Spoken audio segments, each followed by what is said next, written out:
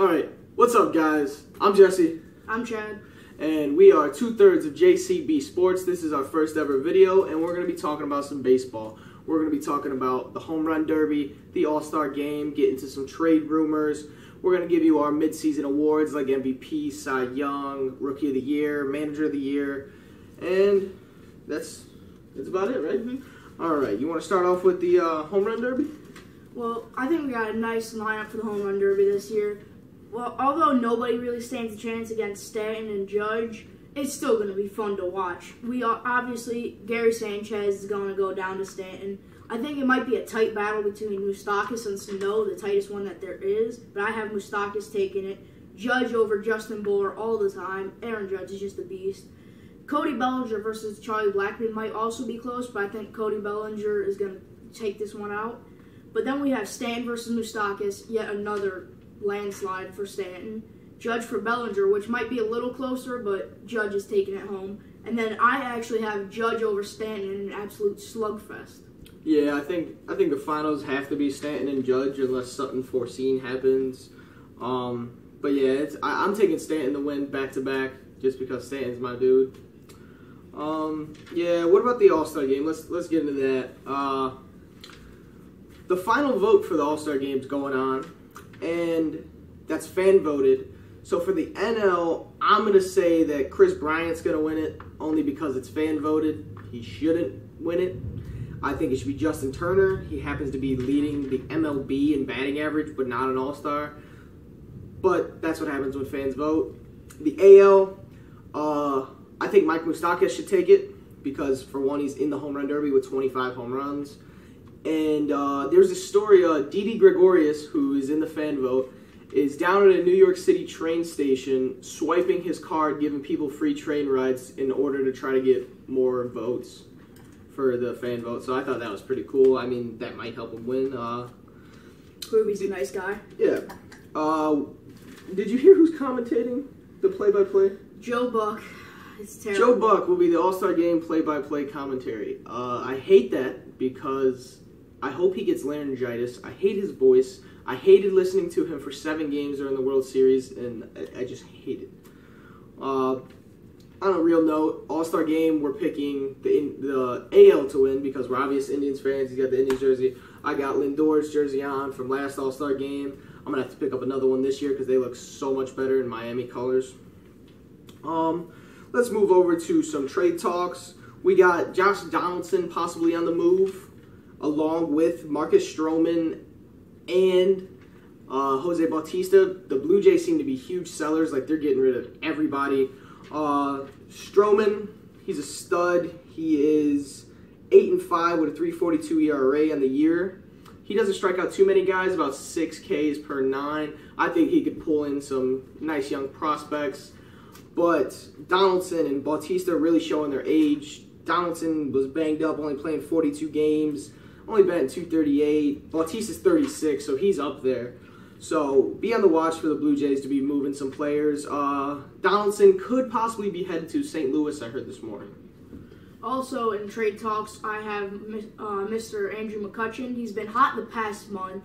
Pirates could use a lot of other assets lacking a third base, first base, shortstop, catcher, and starting pitchers.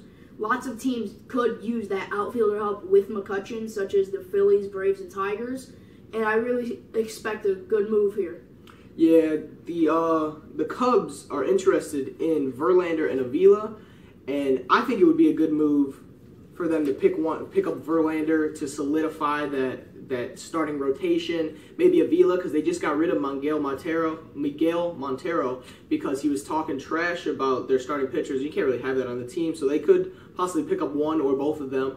Uh, maybe even like you said, McCutchen. Maybe swap him out for Verlander with some, with a little bit because McCutchen's been hot and they need a starting pitcher. So you might as well make a move there. Um, talk about the Cubs. They've been real mediocre this year at best. I think they're 500 right now. Uh, three and a half games behind the Brewers. Brewers. Brewers, that's crazy. Um, the Indians, our Indians, we need a starting pitcher. We really need a starting pitcher to solidify the back end of that rotation. It's been real rough. Salazar should be coming back. That's nice. Hopefully, you know, he's the Salazar of last year. Not this year. Um, we need run support. You don't know which offense is going to show up for us. We should be scoring a lot. We score 4.8 runs a game, which is just barely above average. We should be scoring six, seven runs a night. Some nights we're getting blanked. We just got blanked by the Padres, lost 6 2 to the Padres, in danger of getting swept today, which is not nice. So we definitely need some run support and a starting pitcher. Because the Indians are not, the Indians lineup is not an average lineup. We shouldn't have average numbers. Yeah, we, we got- blowing teams out of the water. Yeah, we got some nice hitters in there. Lindor's having a rough year, but J Ram, man, he is hot. Edwin, he's starting to pick it back up. We should be scoring. Bradley's been a hitting machine lately. We should be scoring like six a game. Um, we can move on to our AL Rookie of the Year, our AL awards. We'll do Rookie of the Year first. Who do you have for Rookie of the Year? Because I'm sure it's got to be a surprise, right? Uh, Aaron Judge, the man's frame is just amazing. 6'7", 282. That's you like- don't beat that. Myles Garrett, Yeah, like that that's swinging a baseball bat. yeah.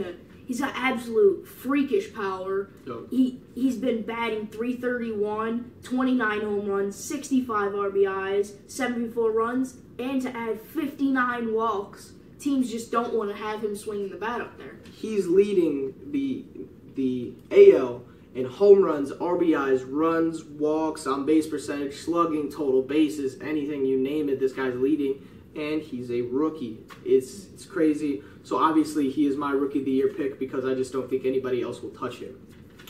Uh, we can go on to AL MVP. I'll start off AL MVP. We just talked about him. I gotta go Aaron Judge right now. It's a no-brainer. Nobody else is hotter than this man on the planet. He's like we just said, he's been 331 for a rookie to go along with 29 bombs, leading in RBIs. He he's just an all-around stud, and not to mention the defensive plays he can make in the outfield with that big frame, and yeah, yeah, he's great. So your MVP, Definitely Aaron Judge. All right. Again. So we'll move on to Cy Young in the AL. Uh, let's hope we got something different this time. Cy Young in the AL. Who do you got? I have Chris Sale with a 261 ERA. Even though this seems a little high, it's still leading the AL. 11 and 3, doesn't lose many games. 120.2 innings pitched, 166 strikeouts. That's 12.9 strikeouts a game. Strikeouts per nine innings, I mean. It, he's been on fire. He leads in so many stats. It's just, he's untouchable. Yeah, un- I'm going Chris Sale too. He's the man. Like you said, 11 and 3, leading in the ERA, leading in Ks. The guy's untouchable at times. Uh, he's got a .89 whip with uh, that's walks and hitters per inning. He doesn't give up many base runners, and it's hard to get on with him. So he's my Cy Young pick at the moment. Uh, we'll move on to manager of the year. It looks like our list for the AL is the same. Our list for the NL is gonna be different. So Yeah. yeah, my AL, and I'm sure it's your AL, no brainer. Manager of the year, AJ Hinch. If you don't know who that is, that is the Astros manager. They are 58 and 27. That is 31 games over 500, the best in the majors. Not to mention, all of their starting pitchers have been hurt at least once this year and missed time. And he's still making it happen. And he still got three All Star starters with Correa, Altuve, arguably the best second baseman in the MLB, and George Springer, who's been on fire with those home runs. Yeah, he they, they got a nice team, but they really put it together this year, so watch out for them in the playoffs. Mhm. So now we can move over to the NL. Let's hope we got some mismatches. Uh, we're going rookie of the year, NL. Who do you got? Cody Bellinger, it's a no-brainer. I mean, he's got 24 home runs, 56 RBIs. He does only have 258 batting average, but who else is notable as a rookie in the NL? Yeah, there's no real notable rookies out there besides him. Since he came onto the scene late April, he has 24 home runs and 258 average isn't the best, but he is a rookie and only 21 years old. I'd take that in a heartbeat. The only thing about him, he does strike out a lot. 83 times this year, and 33% of his at bats, he strikes out. Um, we'll move on to MVP. My MVP for the NL is Paul Goldschmidt.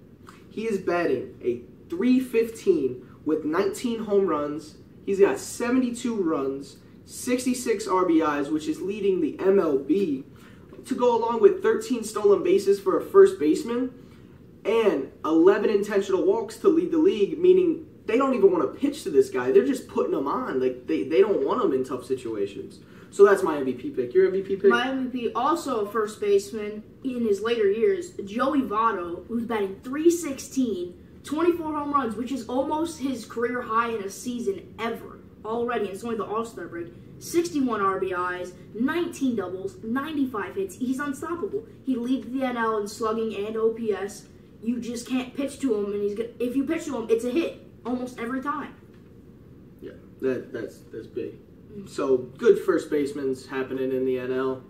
Uh, we're gonna move on to NL Cy Young. Who's your NL Cy Young? I have Max Scherzer, who is 10 and 5, leading MLB in uh, ERA with 194. He also leads NL in two with two complete games, 163 strikeouts, 0.77 walks and hitters in any per innings pitched. He has 12 strikeouts per nine, leading NL, and he also has five hits per nine, leading the NL. My Cy Young for the NL is again Clayton Kershaw. He's the best pitcher of our generation. There's no one better than since probably since I've been alive, 17 years, going on 18 years.